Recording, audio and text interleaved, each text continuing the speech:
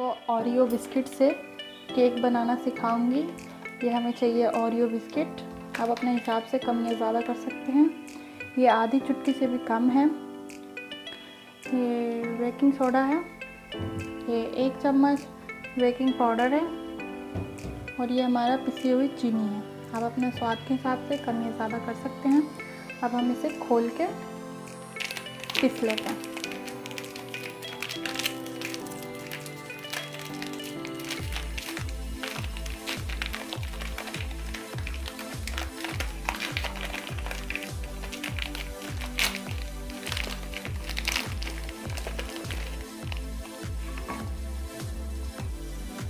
ये आप देख सकते हैं, मैंने सारे बिस्किट खोल लिए हैं।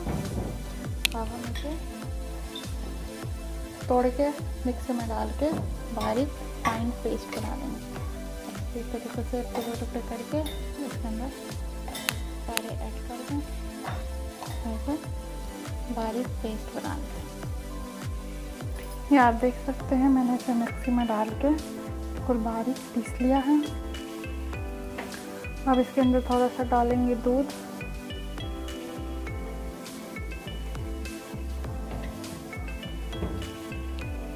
और ये चीनी ऐड कर देंगे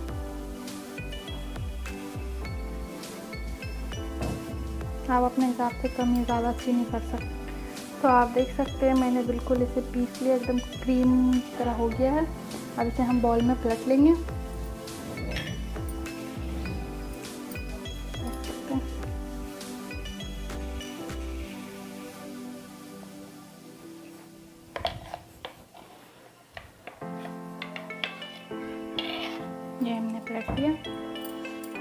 अच्छे से हम करेंगे मिक्स तो ये आप देख सकते हैं, ये हमारा पैटर्न बिल्कुल रेडी है। हमें इसी तरीके का थिकनेस चाहिए। इसे थोड़ी देर हम छोड़ देंगे फूलने के लिए। अब हम इसमें डालेंगे, ये हमारा बेकिंग पाउडर है। बेकिंग पाउडर इसे डाल के मिक्स कर देंगे। अच्छे से मिक्स करेंगे। और ये हमारा बेकिंग सोडा ये भी डाल के मिक्स कर देंगे।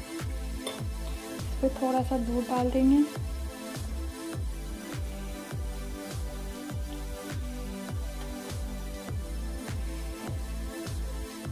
और इसे मिक्स कर देंगे।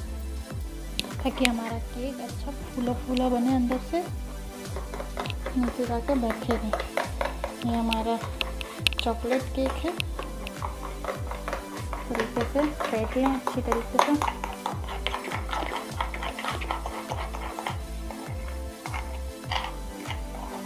आप देख सकते हैं, मैं किस तरीके से फेंट रही हूँ इसी तरीके से फेंट लें और हमारा बटन बिल्कुल तैयार है। चलिए इसे आप बनाते हैं। ये केक के लिए मैंने बर्तन लिया है। इसमें मैंने तेल लगा लिया है और इस पर थोड़ा सा मैदा डाल के फ्रीज कर लेंगे ऊपर कोट कर लेंगे ताकि ये हमारा आटा, हमारा केक चिपके नहीं इस तरीके से आप डाल के चारों तरफ़ डाल लें और लगा लें। देख सकते हैं? अच्छी तरीके से लगा अब ये देख सकते हैं, मैंने इसके ऊपर मैदा लगा लिया है। इस तरीके से आप भी लगा लें, आपका केक बिल्कुल भी नहीं चिपकेगा और बहुत ही आसानी तरीके से निकल जाएगा। चलिए अब इसमें हम डालते हैं अपना पैटर्न डाल देते हैं। अब हम इसे डालते हैं, डालने से पहले एक बार और अच्छे से मिक्स कर लेंगे। ये देख सकते हैं। मैं इसके अंदर सारा अपना पैटर्न डाल दूँगी।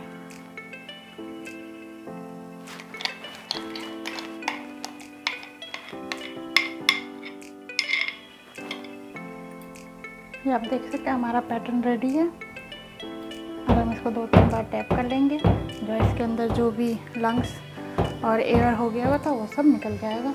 और इसके ऊपर मैं थोड़ा सा डाल दूँगी। ये चॉकलेट डेकोरेशन के लिए।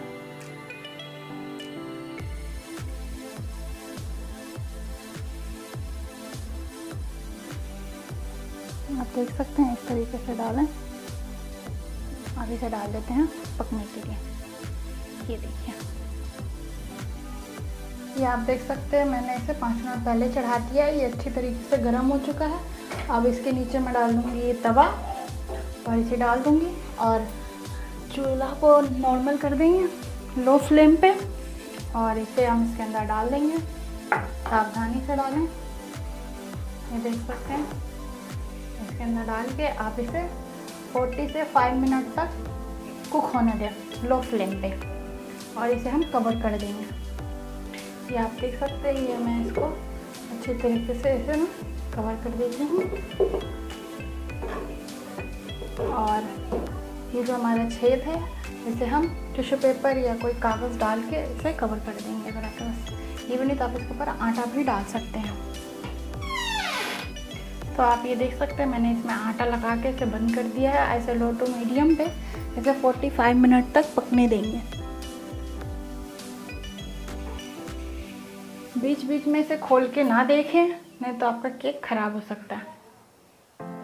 तो आप ये देख सकते हैं, मैंने एक पतीला लिया है, इसके अंदर मैंने पानी डाल दिया है और इसे बॉईल करेंगे और इसके अंदर कांच के अंदर, कांच की कटोरी डाल के चॉकलेट डाल के इसे मेल्ट कर लेंगे। डबल बॉयल चॉकलेट मेल्ट कर लेंगे।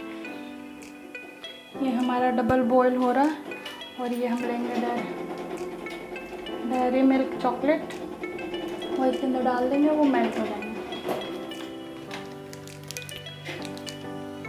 ये आप देख सकते हैं। चॉकलेट लिया। इसे तोड़ के इसके अंदर डाल देंगे।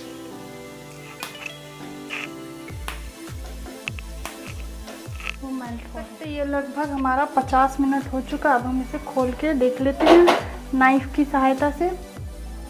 चेक कर ले। तो आप देख सकते हैं, हमारा ये चॉकलेट केक है, ये नाइफ़ की सहायता से हम इसे चेक कर लेंगे। अगर हमारा चाकू क्लीन है, बिल्कुल तो ये हमारा हो चुका है। अब हम इसे ठंडा होने देंगे पाँच मिनट। उसके बाद इसे प्लेट में निकाल लेंगे। तो आप ये देख सकते हैं, हमारा केक पाँच मिनट हो चुका है। अब हम इसे इसमें इस तरह से डाल देंगे और इसे कट कर लेंगे। हमारा केक कितना आसानी से निकल चुका है। तो आप ये देख सकते हैं कितनी जालीदार हमारा केक बना है। और ये बिल्कुल स्पंजी है। ये आप देख सकते हैं, बिल्कुल स्पंजी केक बना है। और बिल्कुल सॉफ्ट है, इस तरीके से आप केक बनाएँ। अब हम इस पर चॉकलेट का लेयर लगा लेंगे। ये देख सकते हैं इसे मैंने मेल्ट करके रख लिया है। अब मैं इस पर सारे चॉकलेट के रेल लगा लेंगे इसके ऊपर, इस तरीके से डाल देंगे। ये हमारा चॉकलेट केक है तो इस तरह से हम इस पर सारा केक डाल के चॉकलेट डाल के इसको फैला लेंगे। तो आप देख सकते हैं, हमारा केक बिल्कुल रेडी है। मैंने बिल्कुल सिंपल बनाया, इस पर थोड़ा सा मैंने चॉकलेट क्रश करके डाल दिया है। और ये बिल्कुल सॉफ्ट बने हैं। मैं आपको दिखा दूँगी कितने सॉफ्ट बने हैं काट के।